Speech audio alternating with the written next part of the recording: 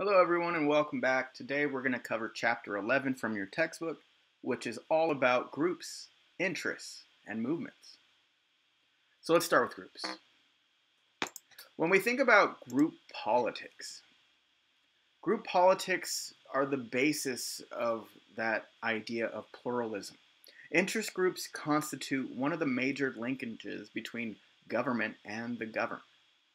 Now, groups can be sorted into three main types. You have your communal groups, your institutional groups, and your associational groups, which often take the uh, idea of those interest groups that we see in American politics.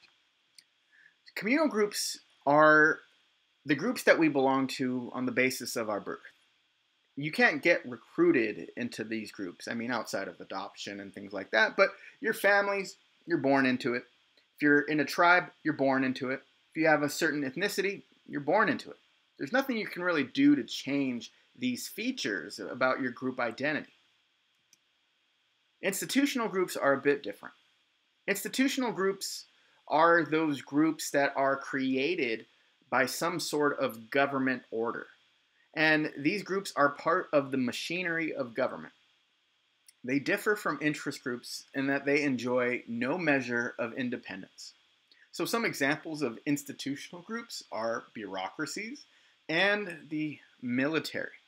When we think of these groups, when we think of the military as an institution, the military has certain desires as a group that it relies on the government to handle. Some of these things could require could, could be more funding, can be uh, more control over their own affairs as opposed to control in the hands of elected officials. We can think of these institutional groups as having an interest in something uh, that is mandated by their order. They differ from interest groups or associational groups that we'll talk about in a bit, in that they enjoy no measure of independence. These groups are not really separated from government whatsoever. They are part of the government. However, they have their own specific interests that we can analyze. Now let's talk about those associational groups. Associational groups are voluntarily formed by the people who come together to pursue shared goals. Some examples of what are usually thought of as interest or pressure groups uh, could include things like the National Rifle Association, or the American Medical Association. These are groups that people can join. Uh, in the United States, we have plenty of groups that people join, commit their time, their money, all in the hopes of securing some type of goal. Now, when groups get together, when groups have a goal, we can see some patterns. Political scientists have argued that a group's influence is dependent on its resources. So, groups rely on public sympathy for their goals.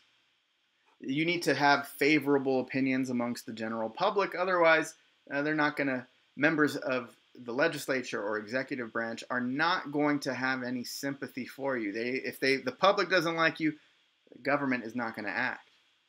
The size of its membership specifically large groups, are actually quite a force to reckon with. We can think of the AARP, which helps uh, provide uh, elderly individuals with access to lower uh, cost of medical care, lower uh, interest rates, and things like that.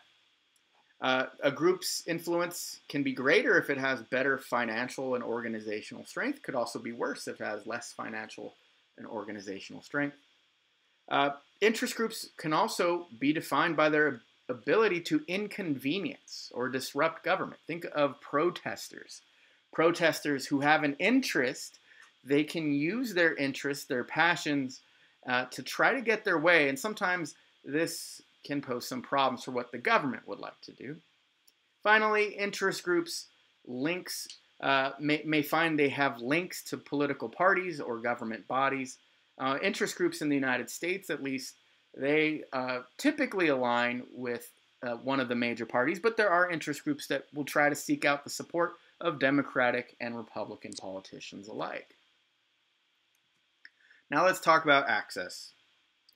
When we think about what these interest groups desire.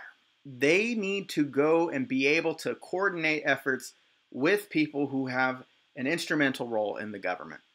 And so having access to many uh, members of the bureaucracy, the assembly or legislative branch, a specific congressperson, for example, uh, you would want to have access to the courts, meaning you would want to have attorneys who recognize how to uh, get your way in court. You would want to have access to the leadership of a specific political party. That way, you can move the needle, so to speak, on what the party wants to accomplish. You would want to have access to high profile media members. That way, your story can be told in a positive light for you and a negative light for all opposition.